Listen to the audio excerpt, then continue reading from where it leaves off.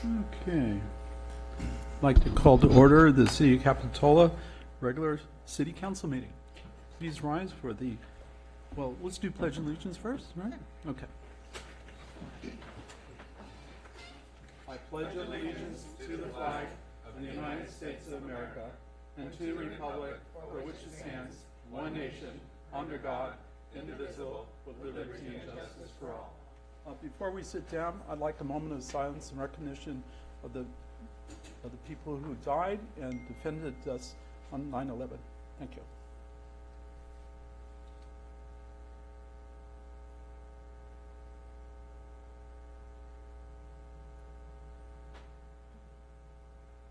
Thank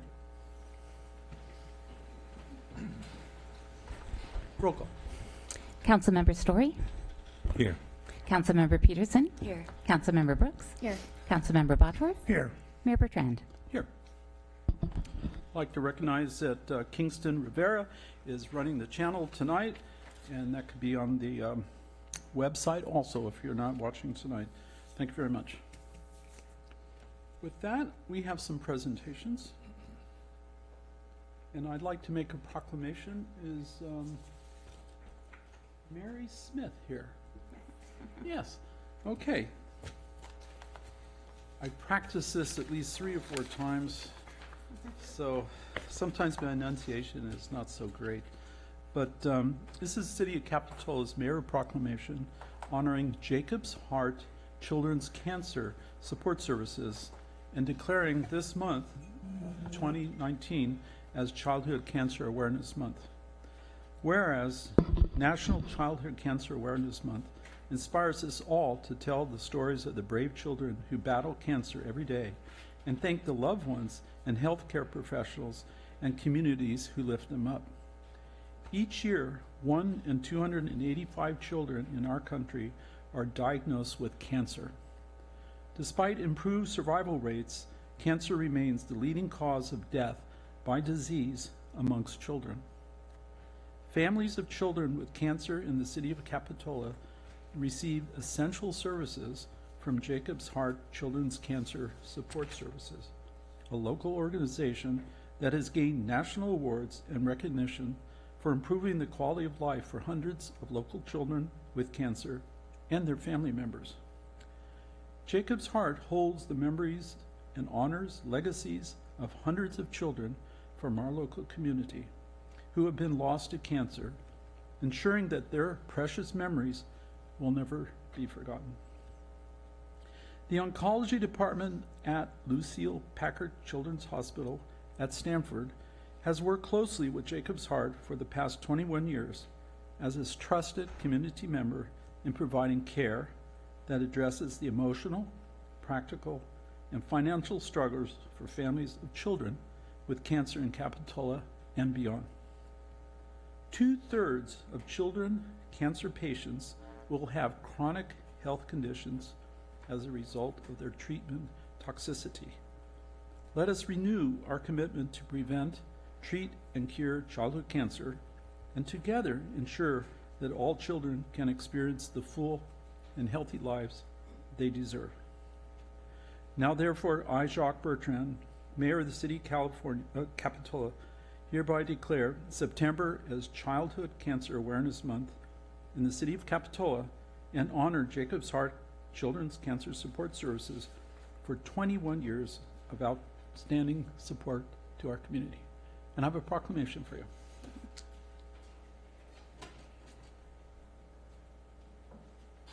I'd like to thank the mayor and the city of Capitola for proclaiming September as Childhood Cancer Awareness Month and extend an invitation to all of you to our Kid Rages Carnival on Sunday, September 29th. It's at the Watsonville Plaza from 12 to 4.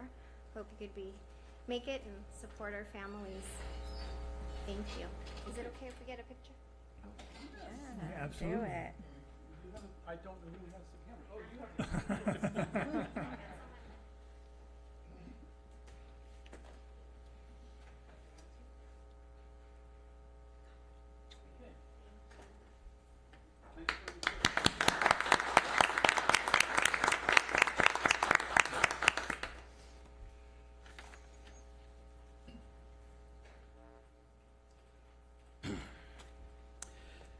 Moving on to, let's see, where are we on this? On two B. Yeah, to be update on city's deferred compensation 457 plan for employees.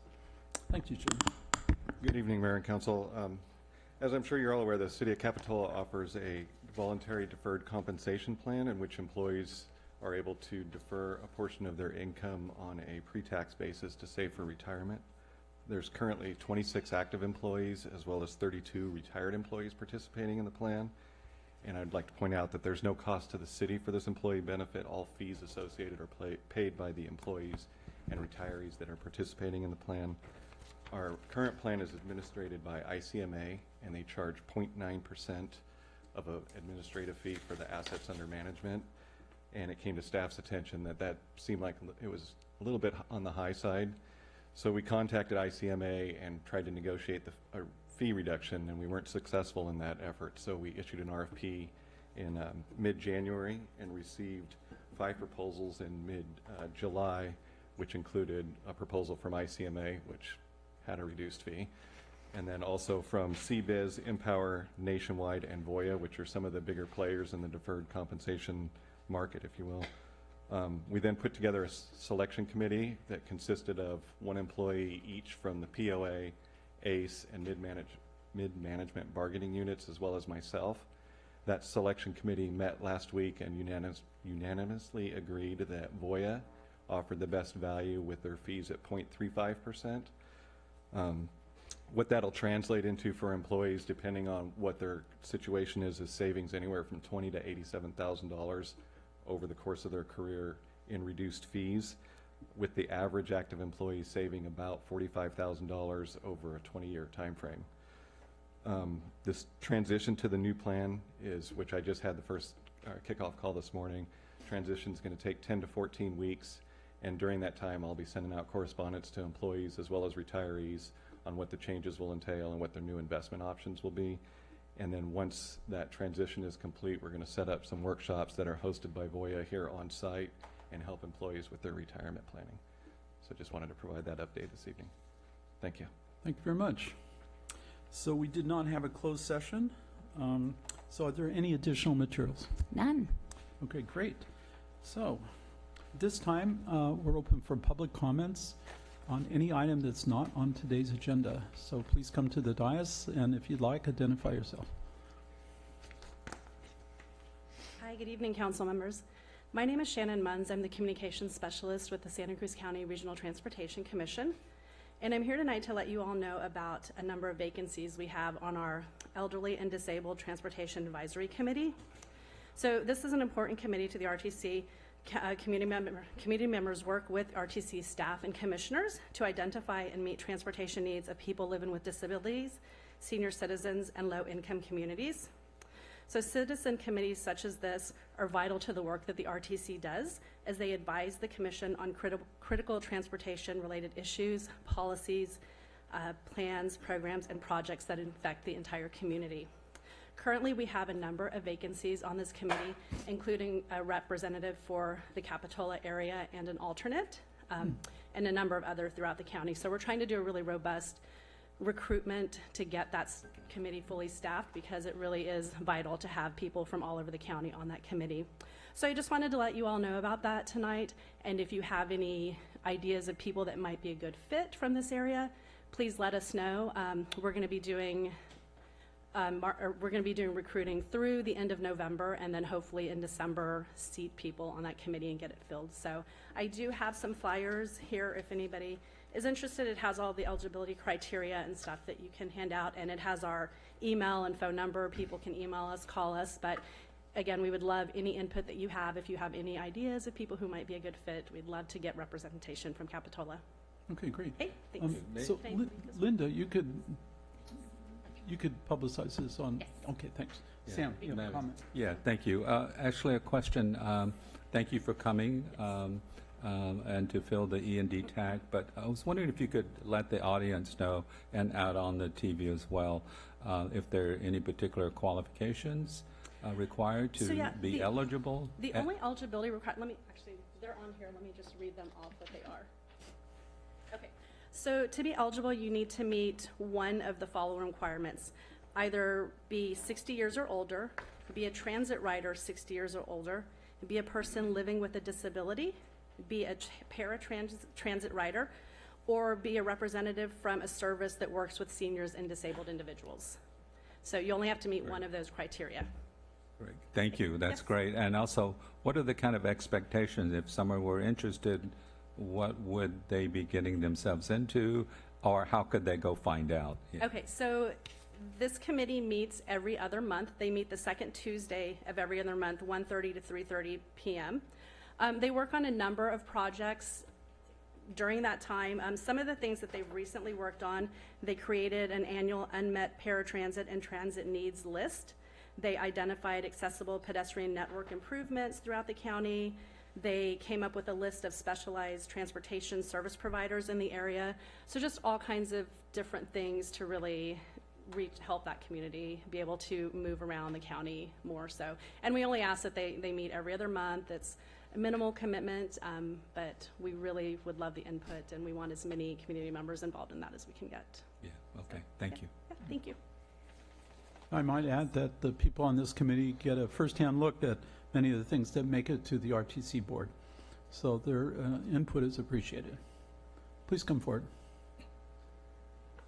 Hi there, I'm Gail, and um, I have come up here before, and my only purpose tonight is to um, bring attention to a health hazard in our community that is so ubiquitous that we don't even know it exists. And it relates to the cancer that children are experiencing. And to illustrate my point, I want to bring this, I'm going to give you a copy of this article where parents demanded the removal of a cell tower from an elementary school after four students and three teachers developed cancer.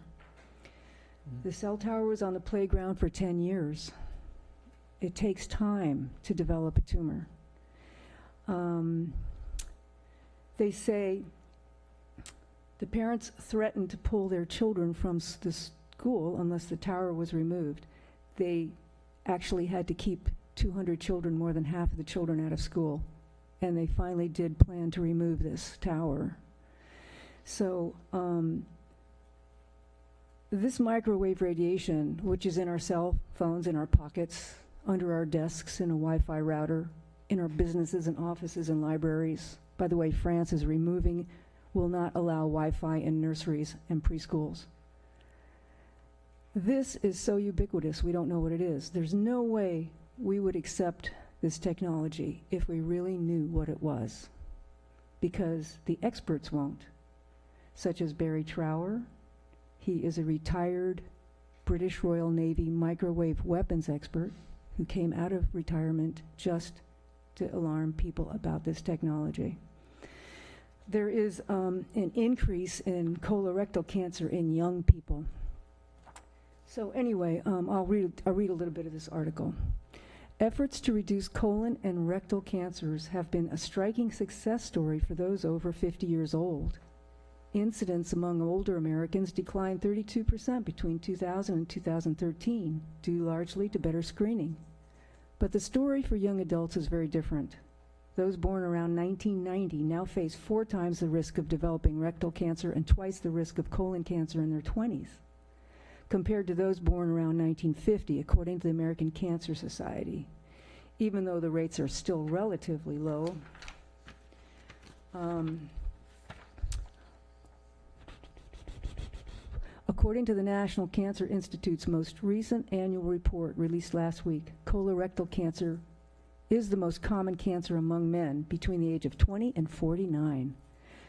No one can explain this apparent contradiction, Dr. Lee told Microwave News. Known risk factors for colorectal cancer include obesity, an unhealthy diet, and lack of physical activity. But the younger generations are more conscious with better diets. Okay, So I will give you a copy of this. thank you for that two. information. I appreciate it. In the future, I'll give you some experts you can consult with. I don't Okay. have that information tonight. Okay, thanks for coming this evening. Uh, We have another person, thank you. Yes. Hello. I'm Cherie McCoy, Capitola homeowner and resident for over 21 years. And my comments are regarding the Capitola street safety as well as the Capitola Mall presentation given by Merlone and Ge- Geier Partners back in June 11th. And I want to thank Steve, Public Works, for meeting with me.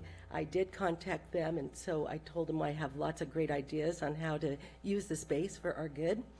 And three minutes goes real fast, so I will present to you an ode to Times Square. Lovely Capitola, 1.68 miles, 10,000 people living here with beautiful smiles. Traffic study was done on 41st, claims Capitola is no safer. Matter of fact, it's worse, especially the corner 41st and Clares. To resolve traffic issues there, nobody dares. It's right by the ghost town, Capitola Mall, which we all agree needs a major overhaul. Dining, shopping, movies, just a thin disguise. Huge residential complex, Capitola, be wise. Yes, real estate is lucrative, more so than clothes. Don't let them pave the way right under our nose. Friends and family gathering, now isn't that worthy?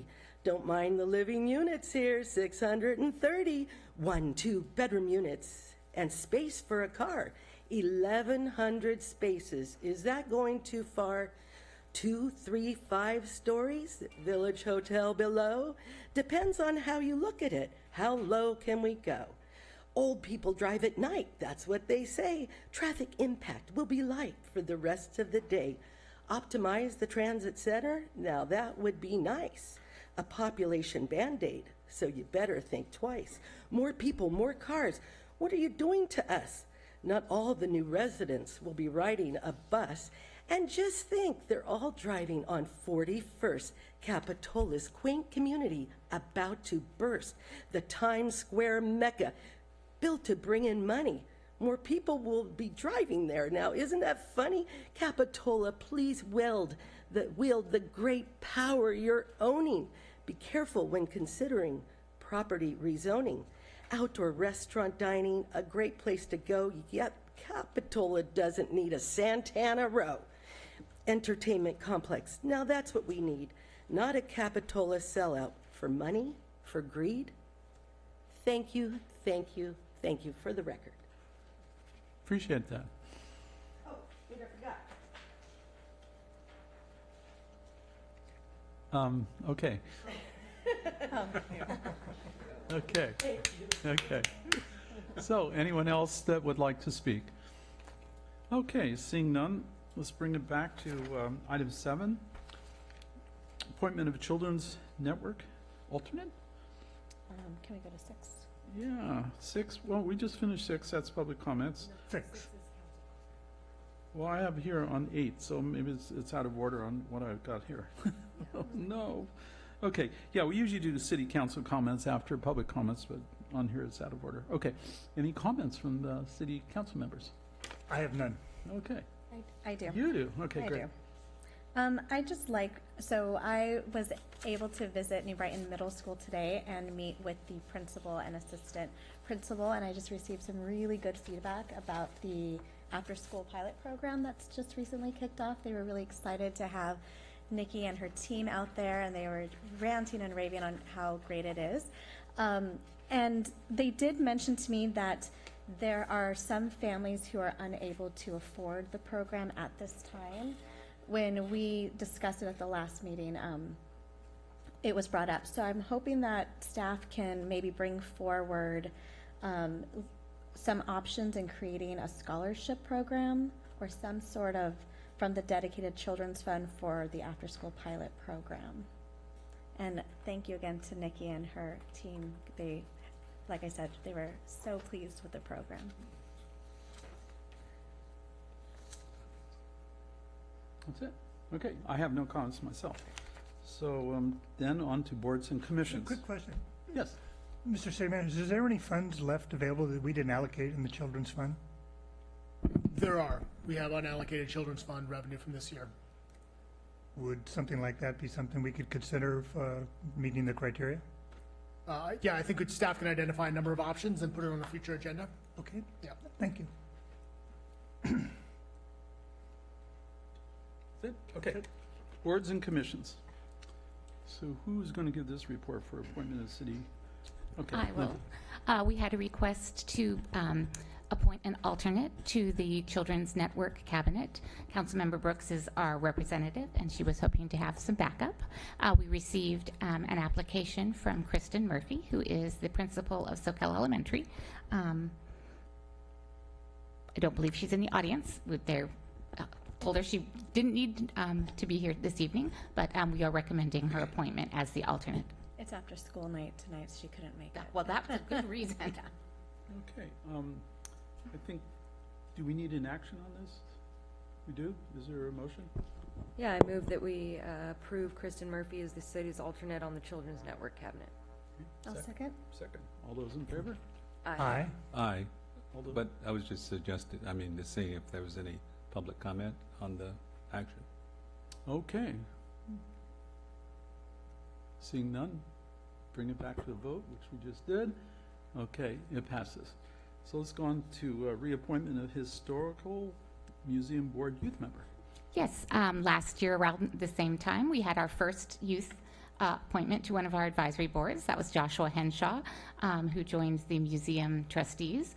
Um, that worked out very well. He has asked um, to join them for a second term, and they have recommended that. So if we, by um, vote, you would like to um, assign him to a second term, we will keep him at work.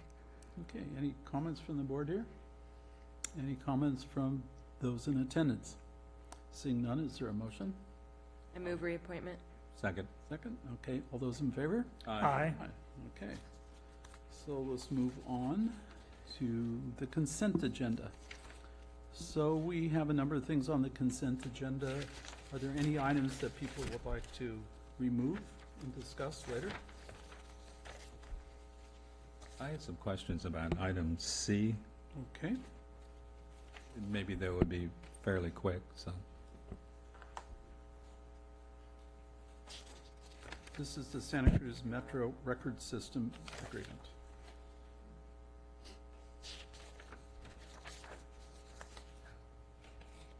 Should we discuss now, or should we hold it to the end of the agenda tonight? Are you asking for it to be pulled or just for discussion? You just said you had some questions. That's correct. Yes, so, um, yeah, I- It's the mayor's prerogative of, yeah, I have no problem with you answering questions. I think that would be fairly quick. Yes, I think so too. Should I proceed? Yes, please. Thank you. Um, On the contract, it mentions that there would be some cost savings to the city, um, but I was wondering if there was any estimate of how much the cost savings would be, and there didn't seem to be any um, uh, quantifiable numbers about what the total cost of, you know, the participation would be, and I'm just wondering if that's maybe still pending, or, Mr. Mayor, Councilmember Storey. So this item is to amend a memorandum of understanding that we've had uh, historically with the other cities in the county, uh, at least Watsonville, Capitola, and Santa Cruz, to jointly provide records management services, uh, to do it together. Um, The amendment in front of you this evening is to add Santa Cruz County as a, I guess that would be a fourth member to our records management system. The net effect of that decreases our percentage of the overall cost. My recollection, I don't have the staff report in front of me, um, actually, I don't have the backup data in front of me, but I think it took us from about six percent, so, so about eight and a half percent to about six percent of the total pro- SCRMS costs. Um, I know. The complicating factor is that at the same time, we're also purchasing a new records management system. That was something that we've been going through the last year or so. We talked about it in the budget. And so the records management's whole cost structure is going up by a factor of about three X this next, these last couple of years. So even though our percentage of the overall MOU is going down, our costs went from around, I want to say, about ten thousand a year to about thirty thousand dollars a year, which is where they're gonna be for, for the next ten years while we pay off this records management system. okay. Is that, Yeah, no, I, I, I got that. Um, so our share is going down to six percent, but the total expenditures are because of new equipment. Um, I guess the bottom line is the amount that we budgeted in, um, uh, in our 1920 budget, 34,921. Is that sufficient to cover Yes, uh, yes. So both we, of those packages? when we Okay. adopted the 911 and the SCRMS budget up at the 911 center this year, we anticipated those costs. Um, We actually are a little bit high this year, so the, uh, the costs in coming years will uh, decrease a little bit. Okay, great, thank you. One final question, and uh, this is on page, uh, packet page 30. Um, There's a reference to support the CopLogic citizen reporting system. I just, is, is that a, like a business name, or, I wasn't, CopLogic, what? I think I would need to defer to our chief on that one. Okay. Sorry to have to have you come up here for that, but, I'm putting you at the end next time. Good evening, Mayor Gra- uh, Bertrand, council members. CopLogic is a. CopLogic, a- okay. CopLogic is a specific vendor name that's been utilized by all law enforcement in virtually all of Northern California. It's an information exchange uh, program um, managed and housed out of Santa Clara County. We participate in, the in the region here as members of CopLogic. okay, great, thank you. Okay, thank you. Okay, I'd like to recognize Ed. He has a question about item 8B. Yeah, I just have a quick comment on B. I, I see a limited amount of people in the audience, and I think I know exactly what the people here are for, so I'm just going to ask uh, Catherine Parker, are you here for item B? Is that uh, the one that's interested you, or are you here for another item? Yeah, you did write a letter, and I just wanted to acknowledge that you wrote a letter, and, and uh, just want to see if you'd allow her to make her comments before we Yeah, got that's on. fine. Yeah. I was going to ask If, for if you don't have a comment, I have. Well, I, I read your letter, and I think I'll go ahead and respond, and, and I think this is a good time for you to, to introduce it to our new city attorney. We have a new city attorney. Uh, our contract had expired, and your comments was about, you know, our need to have consultants or better information for the things that are going to involve us in the future. And I want you to know that part of the reason we chose this firm is they were more diversified. They bring specialty people in all the areas. One of those was Coastal Commission. So without having to hire a consultant, we have so many more uh, services at, at our at our dis, uh, that are available to us. So I just want to let you know that that's the road we're proceeding on. Okay. And I didn't want you to sit around all night if that's what you're here for. So. I was going to ask, was going to ask for comments from the public, so that would have been your time to, to talk, but uh, thanks for bringing that up, Ed. So um, I will now ask for comments from the public, if there's any comments. You're welcome to come forward. No? Okay, so that's going to come back to us later. So is there a motion on the consent calendar? Motion to adopt consent calendar. Second. All those in favor? Aye. Okay, we move on to general government public hearings. Um, nine A, application for the Capitola Village and Wharf Business Improvement Association to display banners and holiday wreaths and trees in the village. Staff report, please. Good evening, Mayor and Council. As the item said, we're taking our first application for a village decoration. Um, Give you a little bit of background. Um, Something happened here. The uh, BIA, Wharf and Village BIA has uh, given us actually two applications. One is for putting banners on a street light poles throughout the village. And the second is for the holiday um, decorations that they've done in the past, which have consisted uh, of wreaths on the street poles and holiday trees at the intersection of Stockton Avenue, Cap Ave, one at the Mercantile, one at Cap Ave in Monterey. These are the typical locations where we see the holiday trees in the village. So just to give you a quick map, um, obviously this is the Esplanade and Capitola Avenue.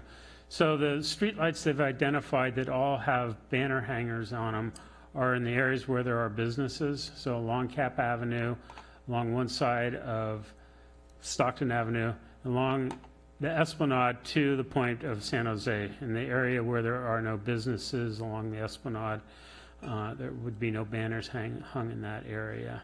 They did include some um, banners along San Jose Avenue. And then the tree locations, as I said, one in front of Quality Market, one in front of the Mercantile, one in front of Sousa's Ice Cream over here. Um, So I just uh, have two slides on the proposed banners that they um, have per- uh, included in their application. They're pictures uh, taken throughout the village. Uh, A couple, there's 10 of them. Um, I think the BIA plans to kind of use different banners on different poles at different times, depending on what, for example, the one back here with the dining would probably be along the Esplanade. Uh, These would be along the Esplanade, some of the other ones would be uh, along Capitol Ave. So I think they intend to use a mixture of these uh, as we go through. Um, Looking at the application in compliance with the policy, um, the uh, policy requires that the uh, banners or the decorations promote the city or the village, and in this case, they do do that. There's no advertising of any specific business or product, and the BIA has the required insurance. So from that standpoint, they do comply with the policy. Um, That really concludes my report, and the actions, there's, so there's two applications here. One is for the streetlight decorations, which includes the banners and the wreaths on the streetlights, and the second application is for the holiday trees. Um, You could take separate actions and, and treat these separately if you want, or they could be both uh, under one action. I'd be happy to answer any questions. Any questions of Steve? Ed? On the pictures that were displayed there, are those examples or are those actual pictures that they are are considering using? So we do have a BIA representative, Anthony from Mijos, and I think he can uh, answer that. So representing the BIA. Those are ones that we would like to use, that we've kind of gone through the stock take of what we've had, that doesn't represent businesses, doesn't represent the Venetians, kind of feedback. But like I said, this is something we're going to try to do, that we would be seasonal and throughout the year. So we'd like your feedback so we can get it right the first time. Prefer to do it right, that we can use them year-round and multiple years, and we want to go with a higher quality that's going to last three or four or five years, rather than something that's going to blow away with the wind after one. I I appreciate that, Anthony, thank you. Yeah. Uh, Before you go, may I, Mayor? Um, um, Anthony, I wanted to ask you about the banners. Um, Will they be framed, you know, so they're, will maintain their integrity, or are they just going to We're be going loose with a- hanging? or- They won't be framed, but they will be, the, like the seams out there, we're using Pleasure Point Designs, but they we're going with a higher quality one than we've used in the past. Uh, I think last year or two years ago, we had a, different ones that didn't really last up and they were cheaper brand. These are gonna be a little higher quality so that the images don't fade with the sun or with the weather, that they're really high res, so they should last pretty well. That was what the quote we got, was that they would be, be pretty, pretty durable. Right, and will they be affixed um, to the light poles at the top and the bottom, so they maintain that Mm-hmm. Right. visual integrity? That's And great. then some that we'll have will be double-sided based on where, uh, on the streets that we're gonna put up. Yeah, great, thank you. Okay, any questions from the audience on this? Thank you for coming. Seeing none, bring it back for an action here, and I do have uh, some comments on my own. Yeah. So um, I went around to uh, various businesses in the village today and tried to find someone who was involved in um, choosing the banners and putting this program together, and I only found one person. Um, But I did get an interesting comment, and one of the comment, uh, this comment was basically referred to the city um, working with the BIA in a more proactive way on a number of things, not just these banners, but Christmas decorations and other actions like that, to sort of have a joint way of moving together before something comes before the city council. So I'm just proposing that we ask the BIA, and you're our rep, you know, to see if that's really an issue. I don't want to see a problem addressed that's not there. And if it is an issue, maybe come back to city council and we could move on from there. Are you looking for my comment on that? Is the Yes, I BIA am. rep? Yeah, um, I mean, m- my understanding is that the city council having a representative to the BIA is a way for the BIA and the city to work together.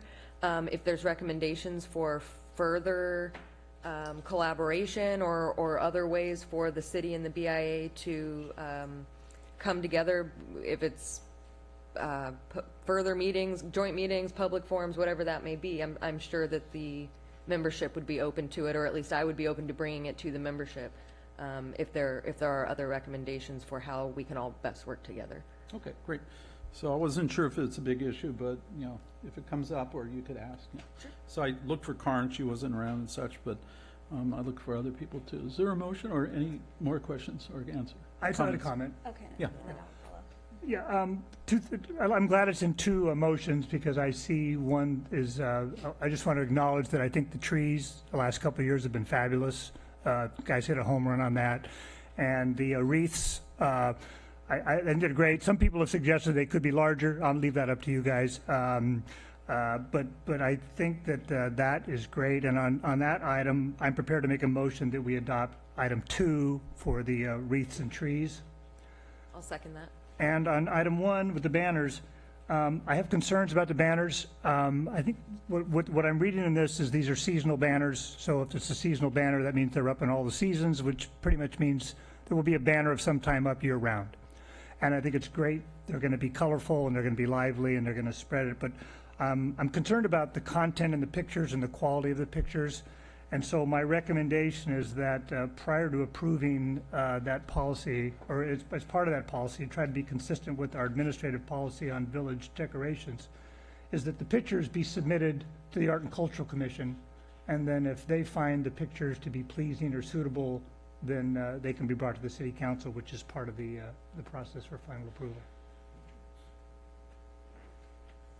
And that's my motion. Any comments on this? Is I- there a second to it, first I, of I all? have some comments. Um, in addition to that, just for additional feedback for you, Anthony, is that, um, there's a clear lack of diversity in the photos, and there are no children represented in any of them. Um, so that would be my charge to, if it's the art and cultural or whomever at that time, to really look at that, to make sure that that's included, Would you like that to be a friendly amendment to my motion? please. Okay. I'm still looking for a second. Sam, you have some comments? Well, I was going Well, to ask. I was you- waiting to you see if there started- was a I- second. Oh, I'm so, well, no, we don't have a second yet. There's still I- comments at this point. I had a second. That was on the the, the trees and the wreath. Yeah, th- just a motion on this one right now. Okay, so we're, we're not, We don't have a second yet. We're just getting Okay. comments. we're discussing the second item before we're voting on the first. I'm My, back. my recommendation is to take the first item first, vote on it, and then you can make a s- another Yeah, motion. uh, Well, it was put in that order, so we're, okay. So we're still discussing item one, and we don't have a second on that. No, we, I- we I do think have, a- on item one, we have a second. Uh, it was motioned by Ed and second by myself. Trees and wreaths was a the motion trees and a the second. wreaths. And That was item two on this. That's correct. It is item two, but it was the, the motion that first Okay, was, so, okay, I was going back to item one. Okay, so if we want to have a vote on item two, that would be great.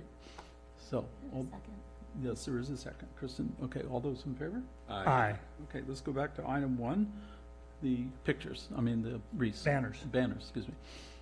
Okay, there's a motion, but no second at this point. Is there a second? You're looking at me? You had something to say. Well, I'm not going to say it until I hear a second, so.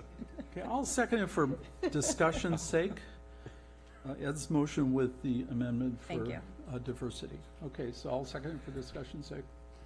Yeah, thank you. If, and Yes, if I may, please. um, I appreciate, you know, where this is coming from and trying to um, have a review of what goes into our village. Uh, I think that's important.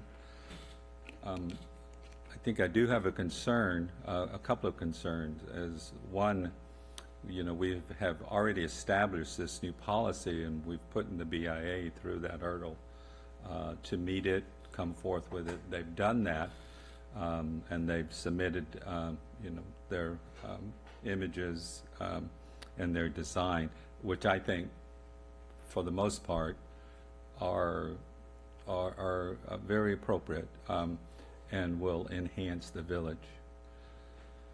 If there are going to be a review of uh, any other posters, I would be concerned about having that go to the Arts Commission, and particularly where criteria are concerning content uh, are uh, issues of diversity. Um, I think that that would be going beyond what the Arts Commission um, is established to do. Um, and if there is the will of this council to do that, um, I think you should at least put it before the Arts Commission and let them accept that mandate before imposing it on them. Um, so I guess that that's what I would request, is that it be made um, as a request to the Arts Commission and allowing them to maybe reject that request. So those, those are my comments. Kristen? uh, I have a, a question. I'm, I'm sorry. I'm, I'm looking through the streetscape decoration policy, and uh, forgive me if I'm misquoting you, uh, Councilmember Bottorff, but you mentioned that it was in the policy that it needs to go to the Arts Commission? No, I said, the, like the policy says all things go to the city council. Yeah. Right. Oh, okay, okay. My, my apologies. I misunderstood. Yeah, he wants No. it to go to, um, I'd like the BIA, um, representative to come forth. Um, So I just want to confirm something, um, in talking to merchants today, I found out that there is a timeline issue here. And if you could comment on that, because that could be appropriate right now. I mean, there's a timeline issue, but if we're not, if we can't get it right the first time, then we can, they're not up now. So we would like to get them up for a certain time, but if we can't, then, Okay, I thought there was a contract or something, it was just mentioned there's a timeline issue. I mean, there's probably a, a timeline on the quote, but other than that, I mean, I'm sure they'll honor the price regardless of when we do it. Okay, okay, that, that was my Yeah, I mean, consideration. we would like to get them up. We had some ideas on what we would like to get them up before the holidays, before Surfing Santa and into the holiday season. But if we can't, then, you know, we'll take it back to the drawing board and try to fix it. How long did they take to make? I mean, I'm just, how much time do we have here? Two weeks to, to make them. So, Okay, so the fall, okay, something like that, okay. you know, if we have, you know, s- something that we can come back by, you know, mid-October, give us a month to try to figure it out. But that's up to you guys. Okay, mid-October would work, okay. Mr. Mayor?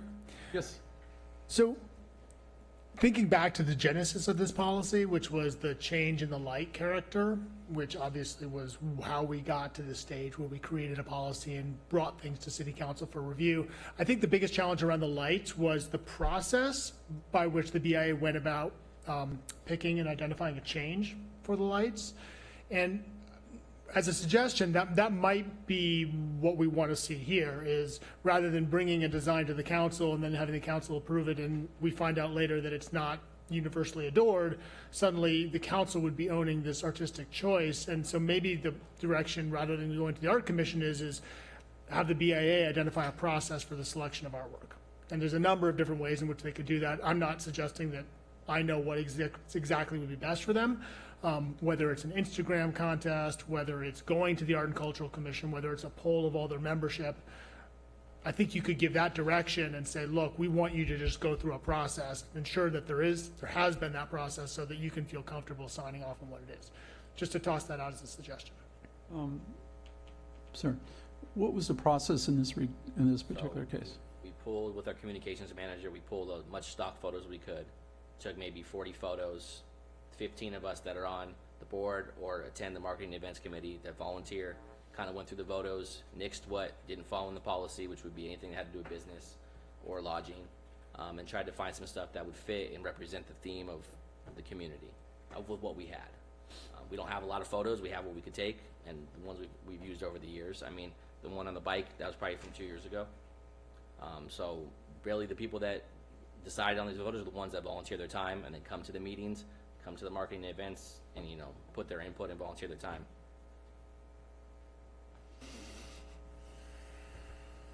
I believe Councilmember Bottorff has a comment, and then I Yes. after he does. Ed, please, and then Kristen. Yeah, I, I, I- what I'm trying to avoid here is the dilemma we got into with the lights. Uh, and, and I, I do believe, you know, we have many commissions that work for us, and we have parking problems. We used to refer them to the parking commission. Uh, we have an art and culture commission that serves at the will of the council. And I'm thinking that this is the body that we have, that it's got an artist on it. It's got, I mean, I shouldn't be making the decisions about what pictures are going on the banners. And I appreciate that the BIA has done their best effort to solicit the ones that they think are pleasing, but we have a commission that's recognized for their, their taste. And if we give them with a task, that's, their, their main purpose is to serve the will of the council. That's why we appoint the, the people on that commission. So I don't, I think that this is a good step to take. Uh, if these banners are gonna be printed, they could be used for multiple years. Whatever we put on those banners should be something pleasing and, and to something that represents Capitola. And I'm worried about the quality of the pictures that are on there. So this is like a small step to guarantee that we can come back here and, and support the BIA. I'm all about the, the, the, the signs. I'm all about a seasonal distribution, but I just want to make sure that the quality of what we put out there is something that has somebody who's concerned about that reviewing it, so. Okay, uh, Kristen, uh, would you like to make? uh, I have a, I, yeah, I have a couple questions. I'm not sure if this would be for our city attorney or our city manager or for the council as a whole. Um, but I've got a couple comments slash questions. Um, the first one that I own personally is that I am embarrassed to admit that I did not acknowledge, notice the lack of diversity in these banners previously. And as someone who is committed to diversity, equity, and inclusion, I am embarrassed to admit that I did not notice that. Um, and it is, and it is important. Um, the second, I have a question. There's ten, it, was there a limit to ten banners? No, that was just the the pricing wise. We had, I think, like twenty-five, but we figured the ten down based on what we would need and some duplicates. That's kind of what we figured would, would work and fit Sure. the budget. So I'm curious as to if the council has any interest in approving any of them in piecemeal and saying, we like these and the rest we would prefer reconsideration, or if we would say, or if not. That's my, that's my question. My personal opinion is I don't feel like I'm qualified to pick art, so I, I, I would Fair defer enough. to a commission. That's why I rec, made the recommendation. Fair enough. Yeah, mm, To answer your question, no. Sure, okay. It was worth, worth a shot. Okay. Okay, call for a vote on this. Um, Oh, We don't have a, We do have, a oh, yeah, you well, seconded yeah, it, there's huh? a My motion, apologies. Yeah, and there is a- and yeah. you seconded it. yes, okay. Um, Well, if I could More comments? Respond to Ed's um, suggestion uh, and maybe try to express my concern. I mean, one, I have confidence that the BIA is going to function um, in the interest of, of their own businesses uh, and therefore the city as a whole. Um, I think this is different from the lights because if any of these turn out to be inappropriate, offensive to a majority of the people, they're easily removed, and we can give direction to do that. Assume that we always have that authority. Um, and maybe that will come through the Arts Commission, who knows? Um, but to me, there's a difference between, because this is, this is commercial art. Um, and I don't believe that the Arts Commission is, has any more expertise in commercial, it may be appropriately commercially, as opposed to their artistic and aesthetic views. Um, and I'm also concerned about putting the Arts Commission at odds with the BIA. Um, so I would just caution and request that if the council is interested in doing this, that it runs it by both bodies and get their input on this procedure and seeing if they are willing to accept that mandate um, instead of just imposing upon them and expecting them to do the right thing. That may not happen. It may not go in a direction um, that we, um, um, you know, uh, expect it to. So those are just, and, and as the, your representative on the Arts Commission, those are my comments, and, and hopefully you will take them to heart. Thank you. So I, I, you know, let me interject here. Um, I can see that as a motion that we first go to the BIA and the Arts Commission to see if this procedure would work first, and then come back to the city council depending on that input. Well, I'll propose that as an amendment to the motion. Well, you can make that as a substitute motion, and we can vote on that first, if that passes.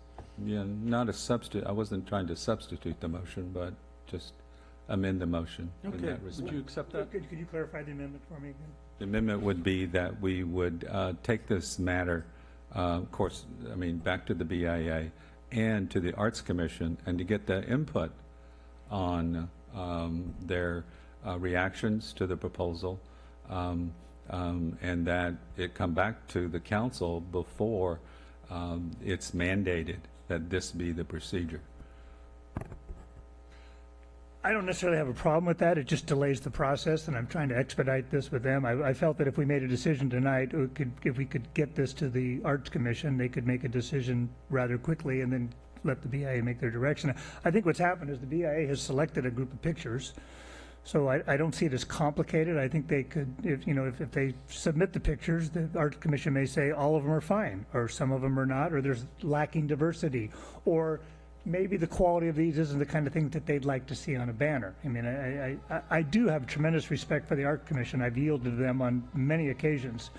And I just don't see why we're not willing to use a commission that's at, that serves the will of the council. And I believe the BIA is really, uh, they want to do the right thing here. That's the message I get here, okay? They, they, the trees are not anything new, and neither were the wreaths, and, and this is something new, and, and we need to treat it as something new, and, and I'm sorry, we need to learn from the mistakes we made in the past, so I, I, I'm, I, I don't, I'm, I'm, I'm reluctant to accept the amendment because I'm trying not to delay the process, because I think that would pretty much, that process, what you're suggesting, would take them out of the first quarter. I believe it wouldn't work in the first quarter. Can I make an amendment? Sure. To the proposed amendment? If Go that's- for it. Oh, Make your substitute amendment. I, I guess what I would say is if, if the question is either we take it to the Arts and Cultural Commission or we ask the Arts and, and Cultural Commission, is there, uh, could we find the common ground of we recommend that the Art and Cultural Commission review it, and if they decline to do so, then it just comes back to us? I Is that accept a that, fair- I accept that amendment. Is that a fair go-between? I mean, we're still essentially asking them if they will, and if they choose not to, they choose not to. Yeah, I, I view that as the same result as asking them. You're asking them, you're not telling them uh, that they have to be in this position and insert themselves into this position. So it would be a So- recommendation that they review, that they have the right to decline. And when, when, when we've made recommendations to the former parking commission, we made numerous recommendations. We recommended the parking commission review this. Steve, I think you can verify that happened numerous times. So it's not an unusual practice. Eh, The purpose of the commissions is to serve the will of the council.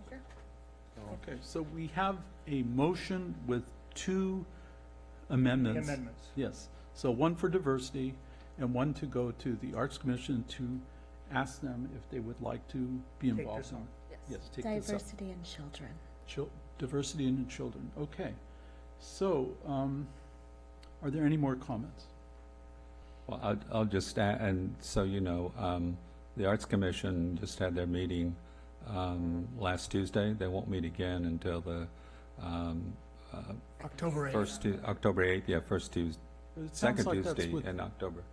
And can the BI uh, attend that meeting so that um, there's? It's open to the public, anyone can attend. Yeah, but I'm just asking, it might be a good idea for Somebody the will be BIA there. to, If it's to not come. myself, it'll be somebody. Yeah, great.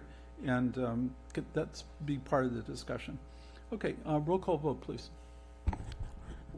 Councilmember Storey? Aye. Councilmember Petersen? Aye. Councilmember Brooks? Aye. Councilmember Bottorff? Aye. And Mayor Bertrand. Aye. Okay, so both have passed. So let's go on to strategic plan. Item 9B, Recreation Strategic Plan Group Update.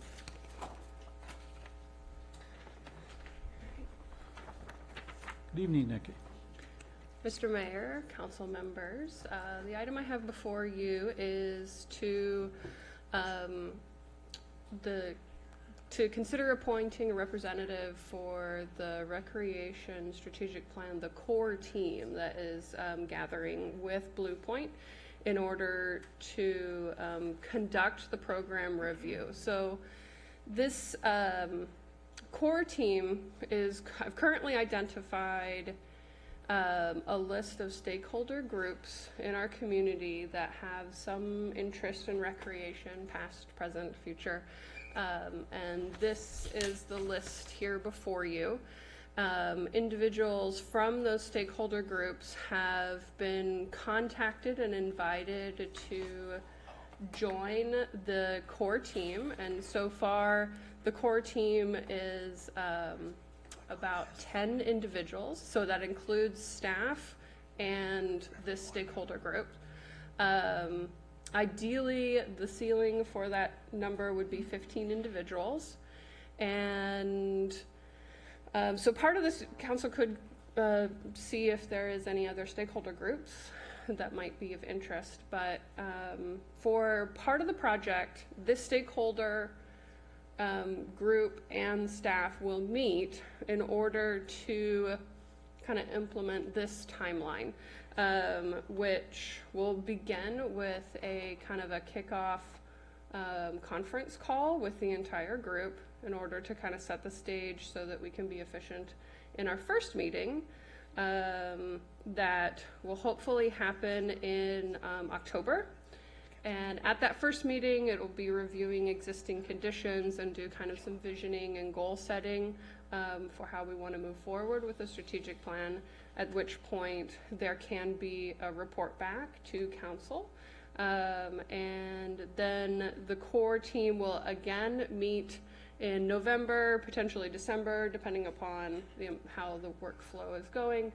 At which point, that core team will work on strategies or recommendations or process of the information that we might have gathered from a community meeting.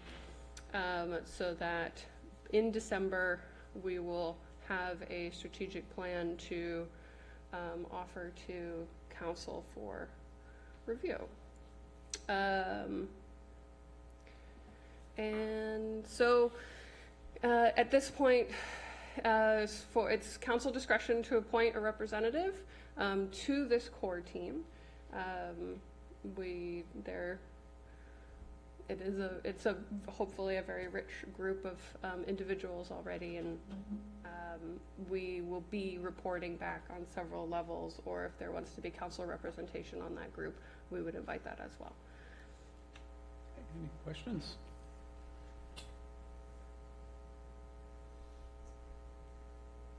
Okay, um, I don't know if anyone's interested in being on this. I am interested, but I'd like to know if anyone else is interested. Yeah, I'm just, oh, we could go to public comment, but I was responding to that, okay. So any public comment? Sorry, I'm being reminded, I'm really thankful for the attention from my city council members here. Okay. Um, Ed, any? No, I'm No? thinking it's Okay, great that you're back to volunteering. Back to city council, okay. So I'd like to have two on it, because I see, you know, there's several of us that are very concerned about, and that's my thought. Several is concerned about children's activities and uh, reaching out to children to be more involved in uh, what the Park and Rec uh, gives. And um, actually, I would like to propose two representatives from city council.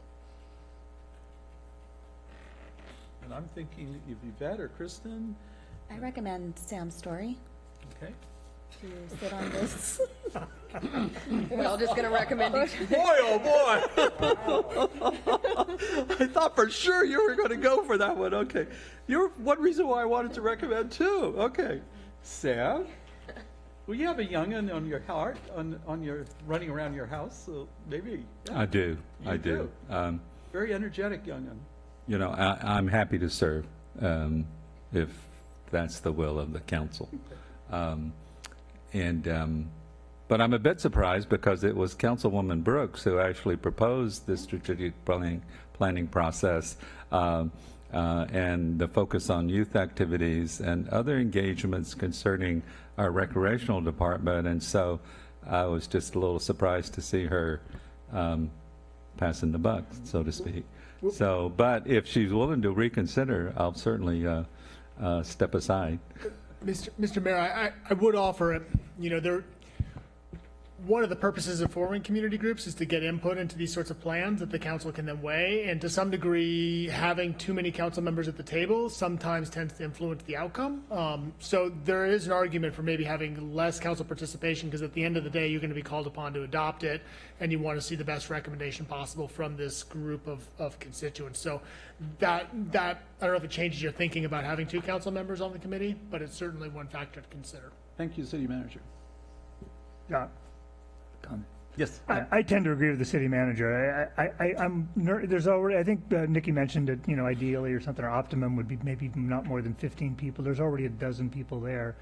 And I think, you know, putting two people onto, a- uh, two council people on a meeting, it makes it top-heavy. And, and I, I think the idea that Nikki's got this great diversified group is, is to get a lot of input. And, I- and, and I wouldn't want it to look like we're making the decision. I, I'd really like to feel like this is coming from the public. I'd almost be to the point where I wouldn't even want to have a representative, but since the mayor eagerly wanted to volunteer, I think it'd be okay if there was one person, but I, I'm afraid that two people would be top-heavy. That's, that's my me- So, recommendation. okay, Sam. Well, if I just, uh, that makes a lot of sense to me, and uh, with that, I'm reluctantly willing to step aside. Now, I'll make a motion that we just have the mayor represent us on this committee. Second. But I do have a question before we vote. Sorry, I, I didn't Okay, have a question question. earlier and I Is just. it an amendment or a question? Nope, just a No, no, question, no. just a question. Um, in the, uh, a- and excuse me, this might just be my uh, ignorance, but in the staff report, it, it lists the stakeholder groups, and one of them at the bottom is sports renter. Is that a company, or is it just like anyone that rents sports? Uh, So, Mr. Mayo, council members, we um, manage several rentals, field rentals, uh, soccer and our softball and tennis. And so we wanted to have representation of individuals that rent those spaces, um, as that is a big part of recreation, but maybe a little bit more of an invisible part. Sure. Um, So that's what that sports renter, I had a hard time phrasing that. No, for you. that makes perfect Mhm. sense, thank you. Okay. Um, All those in favor? Aye. Uh, Before you go, Nikki, um, this is a little off the subject, but, you know, I was talking to some people who play tennis here in Capitola, and um, this one guy, he suffered an injury recently, and he couldn't play singles or, you know, doubles or whatever. But he did mention that he'd like a, a, a wall, uh, you know, a, a practice wall. And he went, I mean, I was stuck. He was there for about 20 minutes telling me why a, a tennis wall would be great uh, as an addition. So I'd just like to put it out there for you. No walls. Sad word. Why? No, walls are good for, if you're a tennis player. it- We're it- building bridges, not walls. Okay. Gee, I, I think you know what I'm talking about. Okay. Thank I know you. it's a CIP thing, so, Yeah, we can look into that. Okay, thank you. I just And wanted to Nick- put it Nikki, out. I just want to say thanks for all your hard work, and uh, Yes. you're really doing a great job in recreation. I just wanted to acknowledge that. Thank you very much. Yeah, you came up at our mayor's meeting, and um, they were, and Ted and, um, you know, Mr. Gonzalez were very pleased with your presentation at the uh, uh, trustee meeting, and there's a lot of excitement. Um, Whatever you're doing is great. Thank you. Thank you very much. So, um, it's wrong here again. So I guess it's item C, introduce an ordinance amending the capital um, recreation by the finance. Okay. We're on to item nine C. So I guess Jim is here for this. Thank you.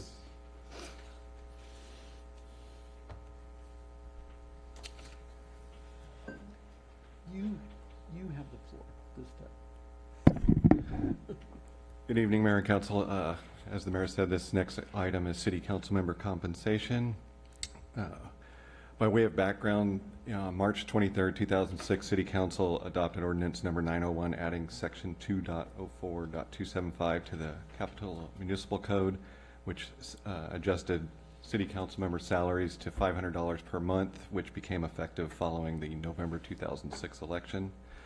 On March 14th of this year, the council requested that the FAC, the Finance Advisory Committee, or FAC, review council member compensation, and that review took place on May 22nd at our regular Finance Advisory Committee meeting.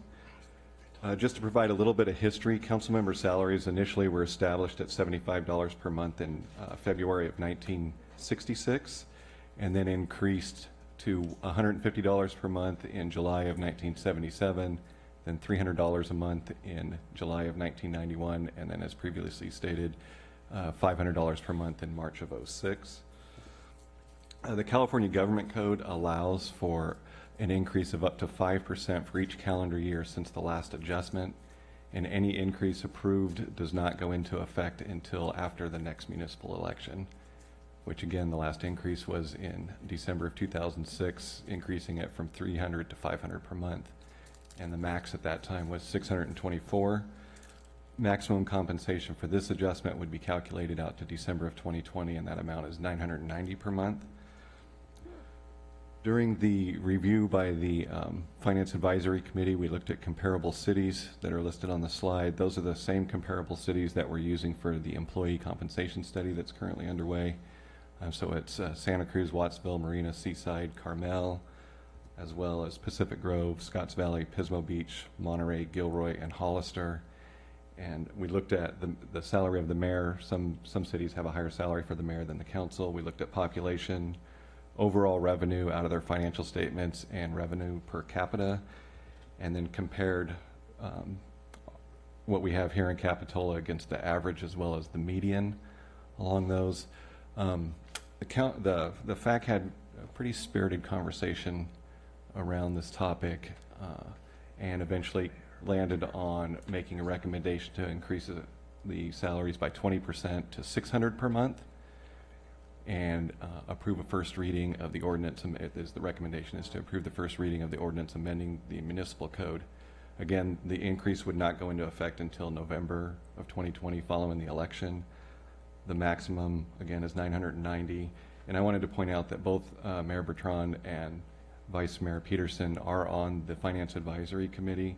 They abstained from voting on this item, and the their participation in the conversation was basically responding to questions from the other Finance Advisory Committee members.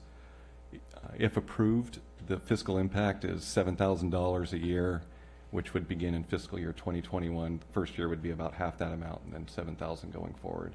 And that's 6,000 for um, the salaries and $1,000 mostly in employer payroll taxes. And that completes my presentation. I'd be happy to answer any questions.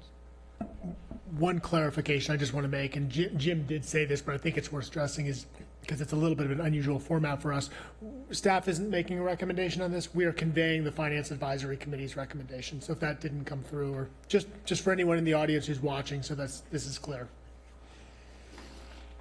Any questions of Jim? Any questions? Uh, Sam, sorry. Yeah, um, I just wanted to clarify one thing. Um, in the staff report on the recommended action, it says, um, six hundred dollars per month for members of the city council to be effective upon the start of new terms of office following the November twenty twenty general municipal election. Um, um, not all council members will be starting new terms at that date.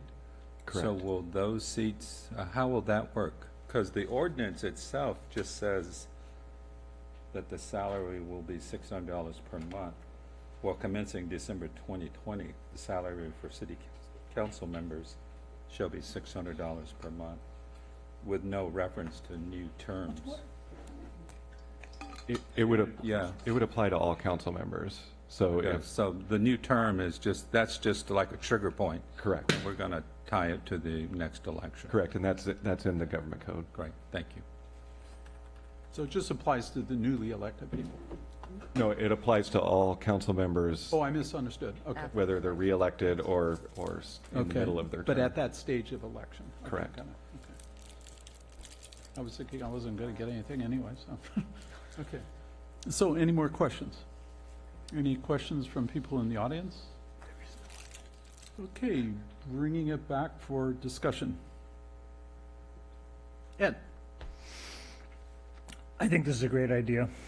Um, I think that uh, about a year ago, we, I I led a, a uh, uh, ordinance to remove pensions from council members. And my reasoning behind that was I think it's important to pay council members for what they do now, not for what they do later. And uh, I think this kind of falls in line with that. I, I think uh, that that the statistics definitely show that uh, council members across the board are undercompensated. And I, you know, I, I- I would have been in favor of going even higher. I, I think it's important to pay people while they're here doing the job. I don't think it's, as, as I stated a year ago, that, that we should be paying for compensation beyond the time you serve. But while you're serving, I, I, I think it's reasonable. I, I would have supported more, but I'm, uh, make a motion to, uh, adopt, uh, six hundred dollars. Is there a second? I'll second. Any other comments? Oh, God. Hold on. Oh, Susan, city attorney. Did you go out for public? We Sorry, I did. didn't know if you Did- went out. Okay. Thank you very much. You Yeah. did do that.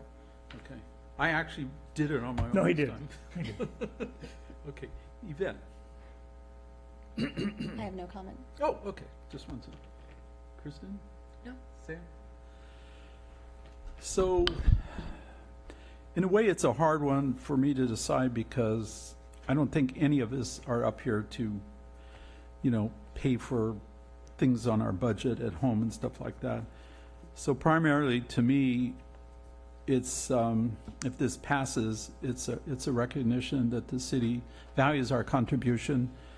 And like I said, the first time this was mentioned as an item, I think, um, we all recognize that everyone involved in civil service on whatever level has nothing to do with compensation. I think it has a lot to do with how much you put out for the community because you love it.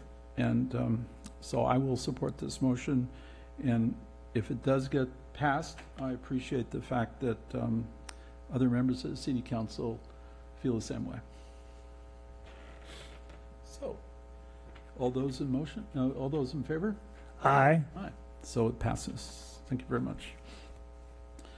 So let's move on to item 9D. Environmental consultant for Capitola Mall redevelopment. Report, please.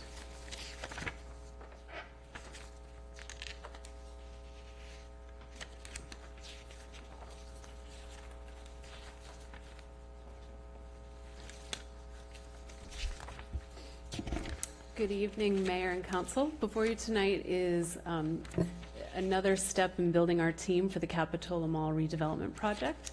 Uh, This evening, I'll present to you the environmental consultant that, and the process we went through. So in May of 2019, we posted the RFQs. There was a 30-day period in which proposals came in. We did receive six qualifications. Um, Staff reviewed the qualifications, and we selected three that came to the top um, based on previous experience.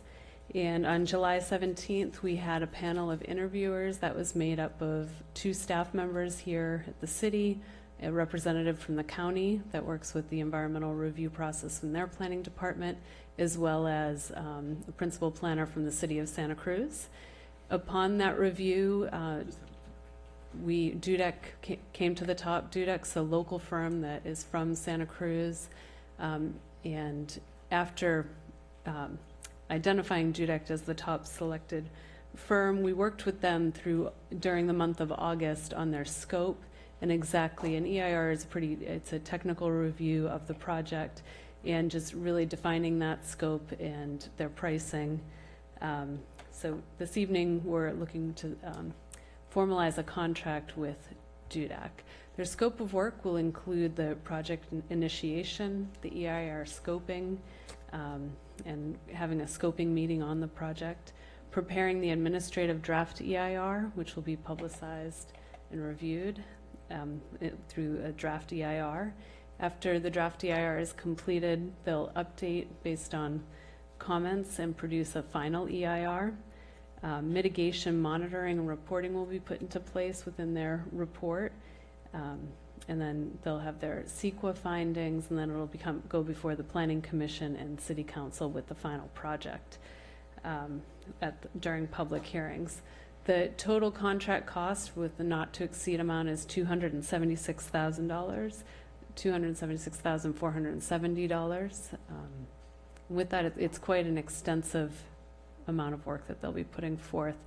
The contract will be paid for by the developer. There'll be, typically, we have a 21% administrative fee that we include onto any contracts that the city administers for a developer project. With this one, um, a previous, our our planner, planning consultant, JAS Consulting, will be managing this contract for us. So the admin fee, the admin uh, cost will be at, we've decreased it to 5% to cover like billing costs and administrative responsibilities of the city, but we thought it would not be fair to do the complete 21% as I won't be the person managing this contract. It'll be our consultant um, with my oversight. So tonight, we're recommending that the um, city council authorize the city manager to award the contract to Dudek for $276,470 for the environmental services for CEQA related to the mall redevelopment project. With that, I'm happy to answer any questions you may have. One question from Ed. Any that?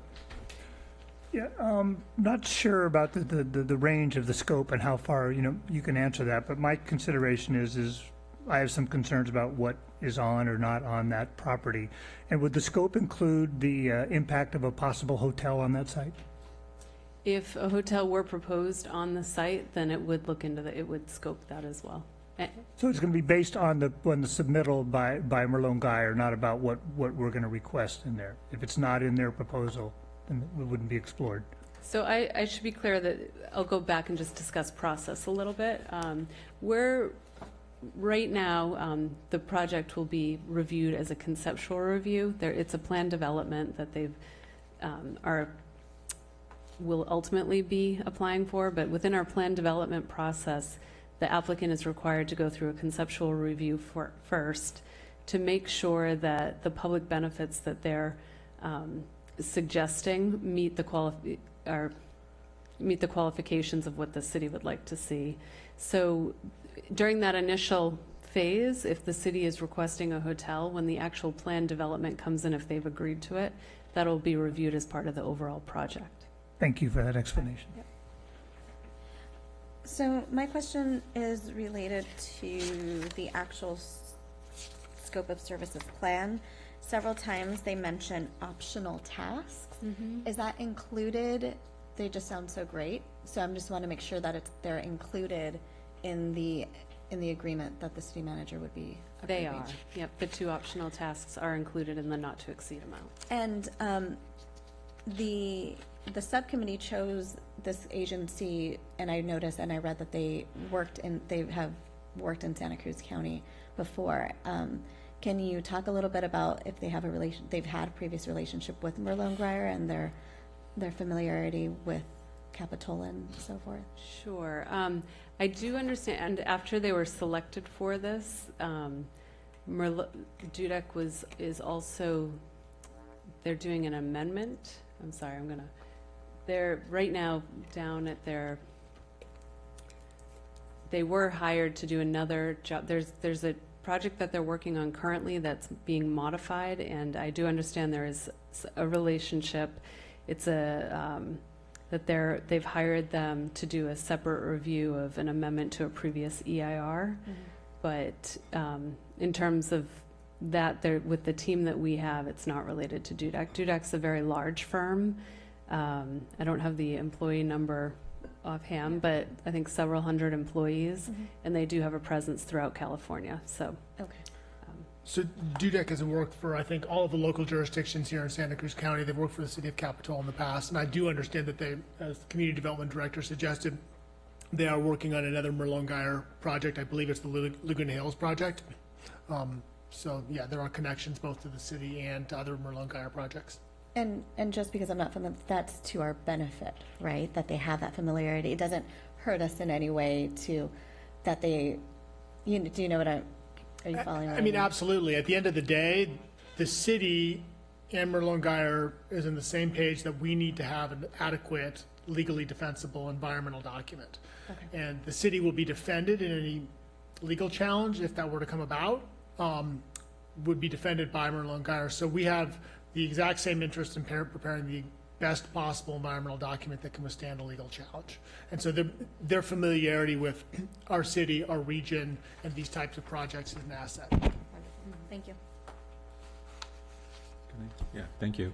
Um, In going through the scope of work, um, there seems to be um, little in timeline, and I think that's appropriate because we don't yet know what the project fully is going to be and how long the CEQA public review and analysis may take. Um, uh, Other than uh, under um, Dudek's, when they talk about the notice of preparation, they talk about a 30-day period.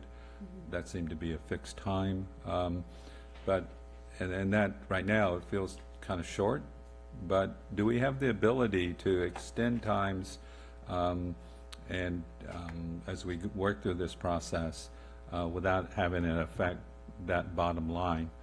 Um, And, and I understand that that's mostly Merlone Geier's bottom line, but will we be able to take the time we need to do this in the appropriate way without having the um, cost go up? So th- that, that is a trick to all EIRs, is uh, timing and cost as you get public comment on these. Um, I think the process that we have in place with a conceptual review of the application prior to the actual application comes in will be, it, it will take additional time in the overall scope of things rather than just it submitting an application. But it does save them, I believe, in the long run, for asking for additional changes and modifications to the plan, because the conceptual review, you have that early feedback prior to the EIR moving forward, and them understanding uh, what the council desires in the project and bringing forth a project that they know will work. So I do think in that, in that sense, you'll be saving them time by getting those early, the early comments in. Um, And then, of course, during the, the process, they'll have to, um, if, if time, you know, time is of importance, I think, for the developer, of course, but anytime we need, in order to make sure that everything's been reviewed thoroughly and we have the best and most accurate information, we'll be taking that time to ensure that. Okay. All right. Thank you. One, I had one other question. Uh, In their scope of work, um, in, in terms of the deliverables, the final deliverable, they, on the EIR, Mhm. uh, they talk about hard copies, but they also talk about CD-ROMs. I haven't heard that terminology used in, in technological terms ages ago. Um, So I, I was wondering, I mean, uh, could we add memory sticks or to that? I mean, Sure. so some people may. I'll, I'll highlight that for them. I'm sure it's Okay. just standard language they keep in And, there. and maybe, I mean, maybe a few CD-ROMs, but, uh, Floppy I disk? don't have a CD-ROM on my computer. I computer. want a floppy disk. um, Anyway. so that, those are my comments. Thank you. Okay. I have a quick follow-up. Um, on, on page eighty-six, it, it does mention, um, uh, in the co, it's, it's actually in the cost estimate, changes in the project description, anticipated one-year schedule. So, so does that mean that these items, one through eight, total, are anticipated to take about a year? That's correct. Okay, thank you. Okay, any more questions? I have none. And is there a motion to recommend that this contract be awarded? So moved? And any, excuse me, hold on, any comments from the audience, please? Okay, I hear a motion. I'll second the motion. Okay. Sorry, who was the motion? Uh, Kristen made the motion, and um, all those in favor? Aye. Aye. Aye, so passes. Okay, thank you very much for that report. So let's move on to the last item. Nine E, ordinance, municipal code pertaining to development agreements. Okay, also in preparation for the mall redevelopment project. Um, So um, this evening before you is a draft um, ordinance for a development agreement. Um, Ordinance, in- and what is a development agreement? A development agreement is a contract bef- between a developer and the city. It's a, a tool that you can utilize for planning that allows um, greater latitude within a development to advance the policies of, of the city. So your general plan policies and a greater latitude within projects. It also allows the public agency to have more flexibility in the um, conditions that will and requirements of a project. And for the developer, they get assurances through the project entitlements. So there's uh, the contract that's put into place provides um, clarity for both parties and knowing what the outcome will be. Um, The development uh, agreement in the draft ordinance, it will define the duration, the permitted uses, the density and intensity of uses, um, height, maximum building size, and dedications. There'll be an indemnification clause, benefits to the city will be outlined, um, and any additional terms and conditions. So within these, you're allowed to ask for additional benefits to the city, and it's all written out within an agreement. Um, The development agreement process that we've drafted, so within the state law, we're allowed to move forward with the development agreement without having an ordinance in place. The purpose for this ordinance is really to outline the process for the applicant and to have a more transparent process when a developer comes in. So within our development agreement process, we've laid out the initial review of when they come in and bring in an application and the city process for the planning department making sure that the um, application is complete. From there, it steps into negotiations, and that is at the direction of the city manager. Um, The, when the project is reviewed, ultimately, the development agreement is reviewed by the planning commission and given a recommendation. City council will actually take the action on the development agreement. Um, and then it is executed within state law. It has to be executed, I believe it's within 10 days, and that's what's in our ordinance. And then the, we set annual reviews tied to a development agreement. So all the agreements that are put in place, if there's timelines for, say, the establishment of a park or uh, an other public benefit, and an annual, we'd have an annual review of the development agreement and making sure they're on track, and if they're not on track, um, amending the agreement and the agreement timelines. So, and there's also a way within a development agreement that's in our ordinance to specify that if they weren't to carry through with their obligations, what the process is to um, nullify a development agreement. So with that, staff is recommending the approval of the first ordinance of the development agreement ordinance, and I'm happy to answer any questions. Thank you. Okay. This might be a question for our new city manager. Welcome. You to just your first- promoted me, I think. City attorney. Excuse me. Excuse me. That I have the much Did you easier see job. Jamie's face? Jamie's face was Oh, just. boy. She sat up. I thought maybe you knew something I didn't everybody. know. We have new news. She's blushing. Yes, come what's I'm going on so there? sorry. Um, so, reading this over, there is um, some verbiage beginning on page 89 uh, regarding low-income housing developments. It's mentioned again on page 90. And when thinking about the definition of low, low-income housing, I'm curious if that ties us to that exactly. If instead we chose to focus on workforce housing or senior housing, you know, there's a lot of other terminology. So my question is, does this tie us to that? That's a good question. Um, and I think the answer is no. However, we could broaden the language to um, make it clear that it doesn't. You know, in general, the purpose section of an ordinance is um, it's not necessarily a limitation. So even though I don't think the language ties us to, um, I, think affordable housing is the term that the code uses, and then that's where it talks about income restrictions based on uh, area median income, AMI, uh, 80, 120, 100. I don't think that ties this ties us to that, but I was talking about this with the city manager, and if you would like, we came up with some. wan- Oh my goodness!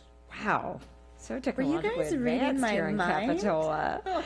So this might address your question. I think this would broaden the language a bit. So this is in the intent, section two. And the language would, Councilwoman Brooks was highlighting the word low income here, and this instead changes it to say facilitates the development of complex projects and then provides examples such as multi-phase projects, income restricted housing developments, um, and developments involving public service. So if you wanted to look at something like workforce housing, you would almost certainly still income restrict those units. It would just be to a higher income than that which is contemplated in the codes in state law. So you would probably restricting workforce housing to uh, whatever 120 to 140 or 140 to 160. So it would still be income restricted. So I think this would capture your concern. I guess my follow-up question is that we're not restricting ourselves. Uh, This would not be restricting ourselves too much. I don't think so, which is, we talked about that as well, which is, I think if you add in such as, I think you make it very clear that these are just examples of projects that could be governed by development agreements. It's not an exhaustive list. And then I guess the, the follow-up is that we would continue using that language on any other agreements, documents, and so forth, and or perhaps with our zoning code updates. I don't know if like all of that, do we, do we need to find continuity with, within all documents from here on out regarding lo, how we use that terminology? I- You know what I'm, do you, are I, you I following? don't think, I don't think we do. I'd want to know exactly where in your code you're referencing it, but I, I- I just, I think income restricted is so broad mm-hmm. that it would capture any other references in your code. Okay, I just wouldn't want to be challenged to that. They would come back and say, well, in your zoning code, or, you know, or your local, I'm, I'm getting them usually mixed up, the local plan or whatever, general plan, you know, I don't want us to, to be charged with that, like, oh, hey. No. Here it says something different. versus here, and I wouldn't want them, I wouldn't want that to be an argument. So just I wanna think you'll kinda- be fine if you broaden the language here, which is Okay. what this would do. Okay. As opposed to narrow it. Thank I think you. you'd be good. Welcome, city attorney. Thank you very much. I'm happy to be here. Kristen? Yeah, is, uh, just out of curiosity, is there a, i- is this to imply that any housing, de- multi-unit housing development that isn't income restricted does not require a development agreement?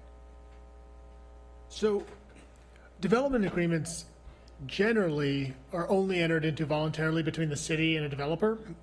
Why, Since I've been here, we have not had a development agreement on any project. So really, it would come about, it's really these complex projects. The last development agreement that I know that the city entered into was for Brown Ranch.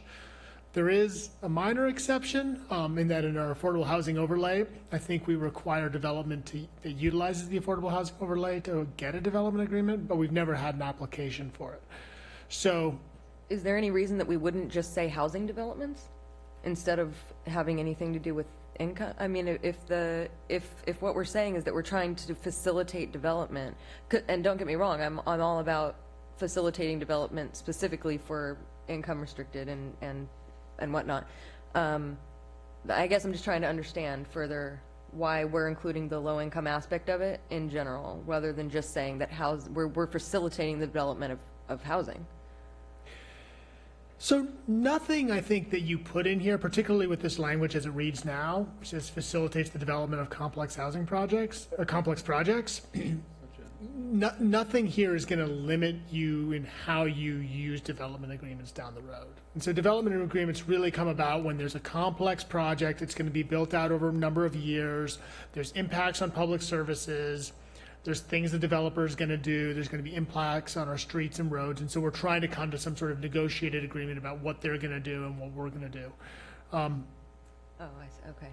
does that help? Yeah, yeah, it does, yeah. I, I would add that practically, any multi-phase development that includes housing will almost certainly include affordable housing because the city has an inclusionary housing ordinance. Okay, okay. Or income-restricted housing.